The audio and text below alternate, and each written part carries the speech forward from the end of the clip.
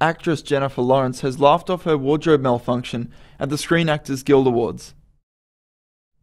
She jokingly mentioned that it was supposed to happen, and it was all a plan to divert attention away from the awards she was receiving for her acting.